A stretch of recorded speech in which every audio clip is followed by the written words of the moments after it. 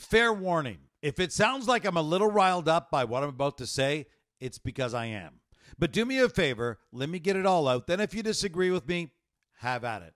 But I just got to say this. I've heard the debate. The fact that we've gone to game seven of the Cup final, epic collapse or an historic comeback. Please, for the love of all things hockey, please stop calling what's happened to the Florida Panthers a collapse because all you're doing is taking away from Connor McDavid leading the Oilers to one of the most incredible comebacks, not only in hockey history, but in sports history in general.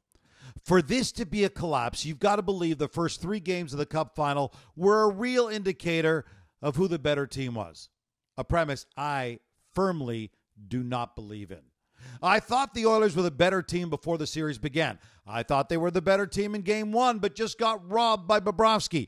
For 40 minutes of game two, they were dead even. And if not for a six minute stretch of game three, the Oilers were in charge of that one as well. The bottom line I firmly believe the Oilers have been and are still the better team.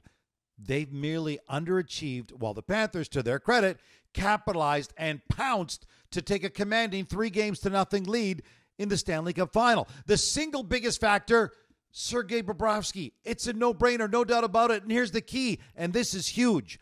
Bobrovsky's numbers through the first three games of the Cup final were way above his head, way better than he'd done in this year's playoffs. A 954 save percentage through the first three games. And now, in the last three games, an 890 save percentage. That's way closer to what he was doing in the playoffs before the, before the start of the Cup final. So Bob's not bad. He's just back to playing the way he did before his incredible three game run. And while he was playing above his head, the Oilers were playing way below what they were capable of. Edmonton had the top four scorers in the playoffs heading into the Stanley Cup final. Then McDavid, Draisaitl, RNH, and Bouchard went dead silent. Not a single goal by any of them. Or Zach Hyman, who had 14 goals to the first 18 games of the playoffs. Nothing. Not a single goal by any of them through the first three games. Did anyone think that would really last? So here's the deal, and I believe this firmly. The first three games, the Oilers vastly underachieved, while the Panthers played over their heads. The last three games, the Oilers have hit stride, and the Panthers have fallen back to earth.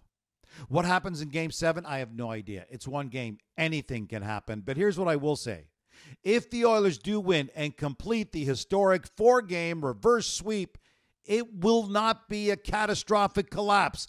It will be the single greatest comeback in NHL history. So sit back and enjoy because no matter what side of the fence you're sitting on, it's going to be a where were you when it happened moment in sports history. Okay, thanks for hearing me out. I'm a little out of air. Now it's time to hear from you. What do you think of all this?